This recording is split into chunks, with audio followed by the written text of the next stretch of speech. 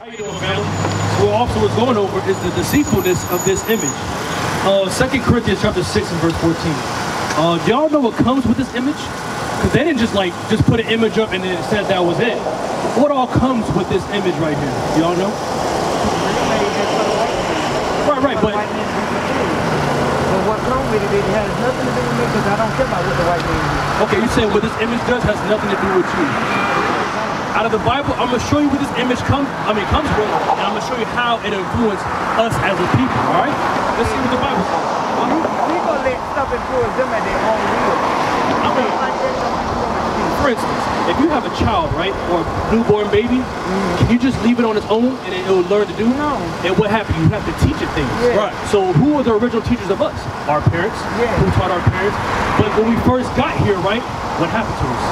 They, they And then they- ancestors still knew about their own. Actually, sis, they didn't allow us to read or write for hundreds of years. And I'm gonna prove that to you out the Bible. Oh, I know that.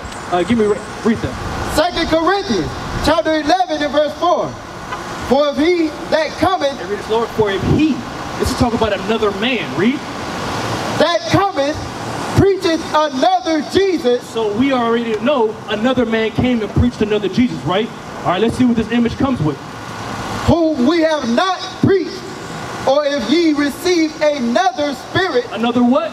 another spirit, So what spirit does this image come with? And bring it up. I can show you some. Uh, give me uh, the, the Deuteronomy 22 and 5.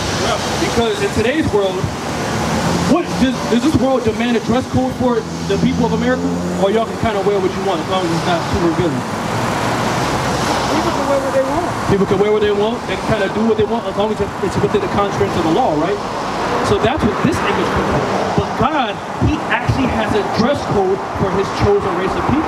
And before I get that, do y'all know who God's chosen race of people is? You say who? You say us? Okay. Do you know if God has a chosen race of people? You say, you know, I'm, I'm listening. I'm Okay, before we read that, let's get the chosen race of people. Uh, let's get Deuteronomy 7 and 6. We gotta understand, before we can start diving deep about the facts of the Bible, let's get a foundation real quick. So we're about to read about who is God speaking to. Alright? Let's see who God's reading about. That's Joel 2 please.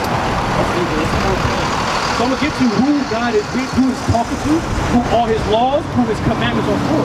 Because this image says God loves everybody and God deals with everybody, right? Because if you just be good, this man says you can make it to the kingdom of heaven. But who is God really talking to in the words of God? Let's see. Read that. Joel chapter 2 and verse 27. Come on. And ye shall know that I am in the midst of Israel, So God says, I am in the midst of Israel. Read. and that I am the Lord your God, and none else. So who is the God? Whose God is the, I mean, of this Bible? Who's he the God of? Is he a God of everybody or? He said he's the God of Israel, right? You agree with that, sister? I'm gonna call you. Yeah, I agree with that. You agree with that? But what about when he said, for God so loved the world? All right, let's get What there. So that who is that world, all right? Go to John 3.16. The world is the world. The All world right. is everybody. So what about that part? First, we're gonna read that. Okay. Because the thing is, you know, I've been to the Christian church. I'm, I'm pretty sure you've been to the Christian church. You've been to the Christian church. They read that scripture, right? So let's read it and see what it's actually saying. All right, read that. The book of John, chapter 3 and verse 16. Come on. help. For God so loved the world. So, all right. So you'll hear God so loved the world, and then He will preach about God loving everybody, right? Yeah. All right, read. that he gave his only begotten Son, that whosoever believeth in him should not perish, but have everlasting life.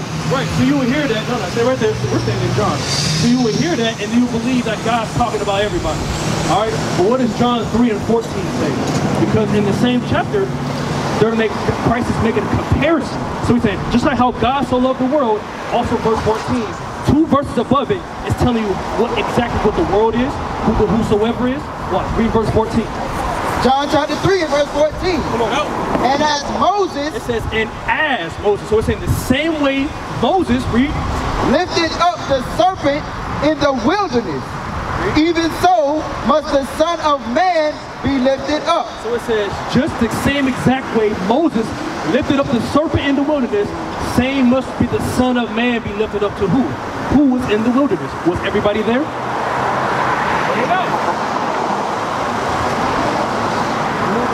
Who was in the wilderness. All right, give me that number 11, I believe. Is that Numbers? Six and twenty-one. Get that, get that number 6 and 21. So we're about to read to you who Moses lifted up that serpent to in the wilderness. All right? Re- Read that. Is that it? Well, twenty-one is It's 21. Yeah, it's 21. Get number 21. So, so two verses up, it says, just like how Moses lifted up a serpent in the wilderness, the same must the Son of Man be lifted up. Two verses later, God loves the world. Who is this world and who is this whosoever? It's those who are in the wilderness, but Moses rescued them from Egypt. Read that. Numbers chapter 21 and verse 6. And the Lord sent fiery serpents among the people, Uh-huh. and they bit the people, and much people of Israel died. How much people of who? Israel died. So while they were in the wilderness, right, they were complaining, they were murmuring about Moses. So God sent serpents to the children of Israel to bite and kill them to teach them a lesson. But he didn't want to, he didn't forsake them, he tried to teach them a lesson. Let's see what he did to heal them. So if you got bit by a poisonous snake and you're laying there in pain and agony, you need some form of healing. All right, let's see what kind of healing it was. Read.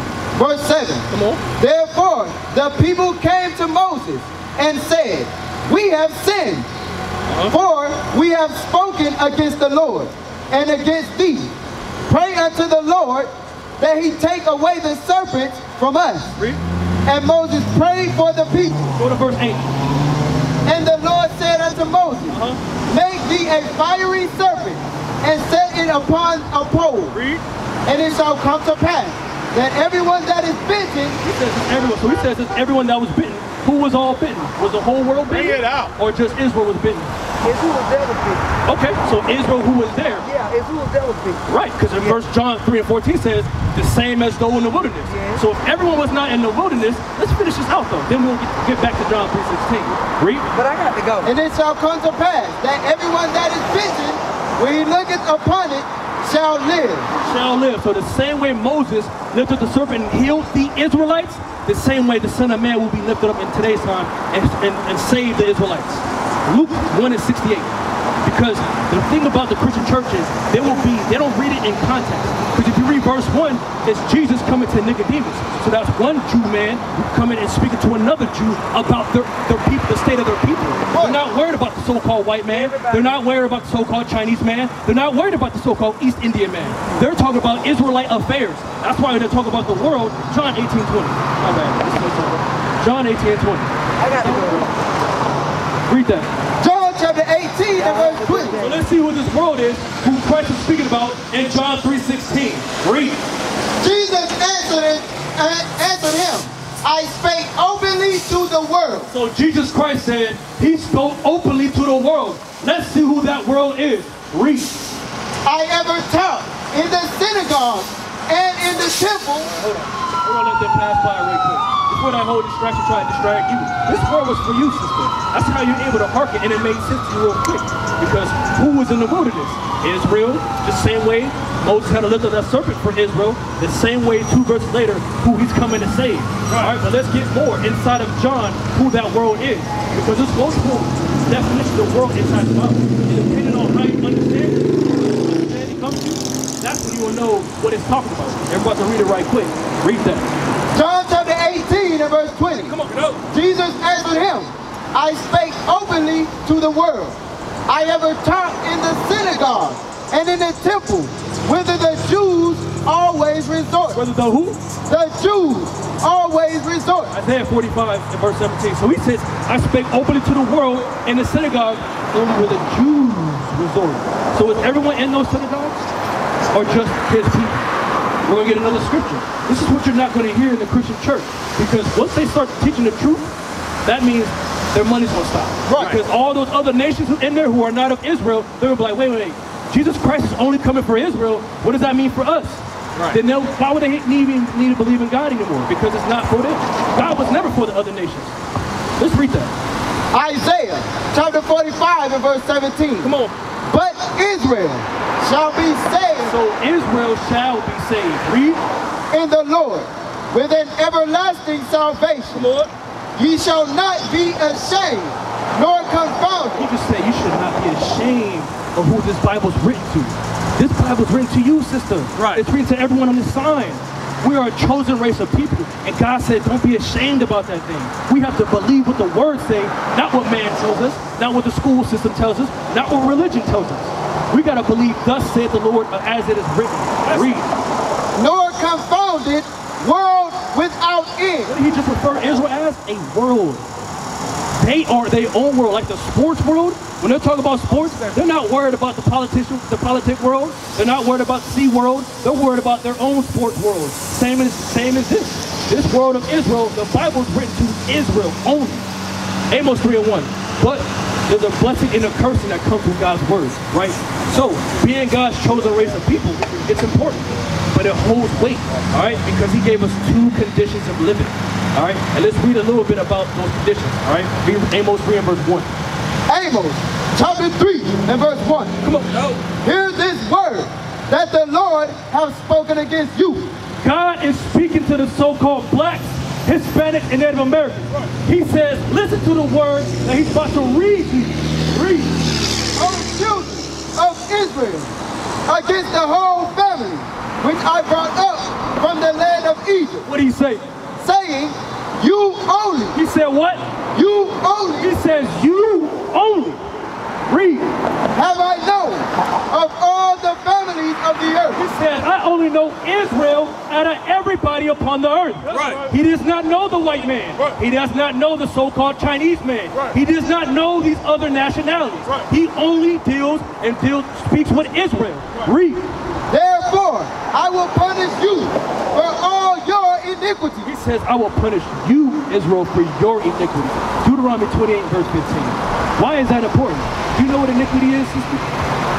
Oh, that Psalms 38 and verse 18. I'm going to read you exactly what uh, iniquity is. And think of what you're going to learn about here compared to all these other religions. Our answers come from the Bible. There is no, oh, I think it means this. Oh, pray about it. No, no, this ain't the Christian church. We're coming to you out of the scriptures to give you the healing that you need, that we need as a nation of people. Because we're lawless. Our people are lawless. You see our young boys, 13, 14, 15, carrying big banana clip AKs, walking through the hood, shooting up. It's not the, the 30 year olds you doing killing, it's the young boys. Right. They have no guidance. The black, it's one out of three black men are going to be in the penitentiary. Where are the fathers? You see, that fa- the father is is that main structure of the home. That's why we have a lot of single moms in these households. Men, they're, they're getting these tendencies from their mother. That's why they're so emotional. They can't really deal with situations properly because there's no structure. We need this structure in our community, but we refuse to come back to God's laws. That's why we're going to remain on the bottom of society. Right. Chapter 38 and verse 18. Come on. For I will declare my iniquity. So we're about to read to you exactly what iniquity means. Read. I will be sorry for my sin. You'll be sorry for what? My sin. So sin and iniquity are the same thing. Right. And do you know what sin is, sister? Let me read that. Let me get you exact definitions. So without a shadow of a doubt, you will know. I know what iniquity is. I know what sin is. Read. Chapter 3 and verse 4. Come on. Whosoever committeth sin, So whosoever is going to commit a sin, read, transgresseth also the law. read. For sin is the transgression of the law. Transgression means to break. So if you have laws of God and you break those laws, you are in the midst of sin. That's right. It's that simple. Deuteronomy 28, because I was bringing it up earlier.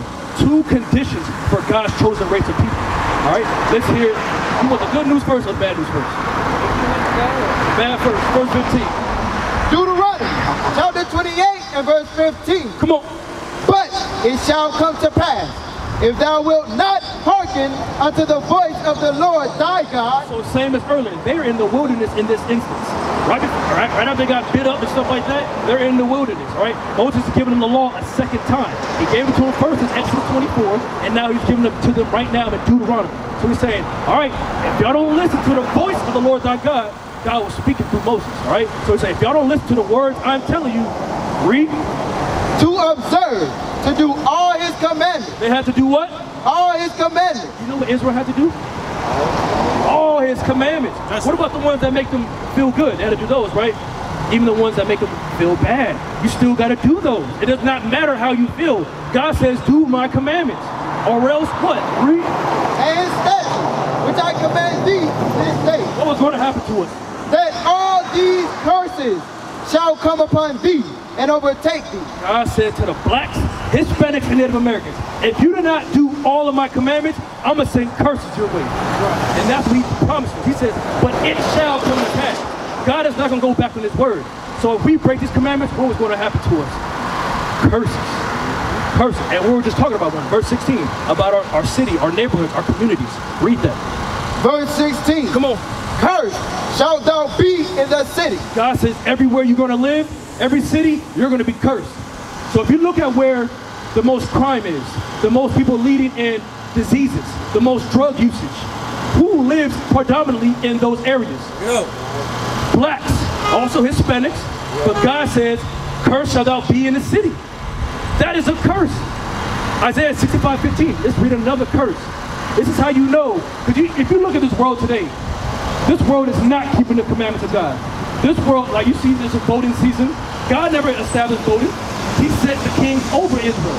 So this world is given to the hands of the so-called white man. This world is given to him for this moment to teach us a lesson.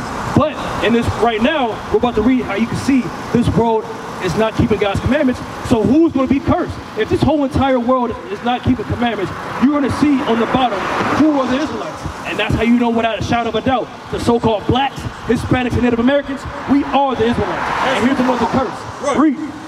Isaiah chapter 5 and verse 15. And ye shall leave your name for a curse. He says you shall leave your name for a curse. Who do our last names come from? From the white man. If your last name is Smith, Johnson, Black, White, any of these heathen last names, you have lost your name for a curse because you decided not to keep God's commandments. Right. Read that again. And ye shall leave your name for a curse unto my chosen. Unto his chosen. So what is your last name? Second Chronicles chapter 9 and verse 9. Is that it? That's what I was looking for, 9 and 9? You know, get out there. Second Chronicles 9 and 9. Let's see what, your, what our names actually are. Second Chronicles chapter 7 and verse 14. If my people, which are called by my name, God says we got to be called by his name. Read. shall humble themselves, What do we have to do? Humble themselves, So, first step is to humble yourself. Understand, whoa, I have not been living the ways of God. I must humble myself, get out of the ways of Babylon, and come learn how to properly serve God. We used to scream black power while Heron was pushed. But at the end of the day, nothing's in vain. IUIC has been given a vision. The tents of Judah has risen. Many has attempted the mission, minor murmuring, omitting, and missing the mark. Just reading that he had the flame of fire in his eyes gave us the spark. We on Paul's mission. We out on the road, purple and gold. From Mexico, Cuba, Haiti, Ghana, Sierra Leone. 144,000 boots banging, concrete crackling. These are our men repented at heart. The scriptures is proof. IUIC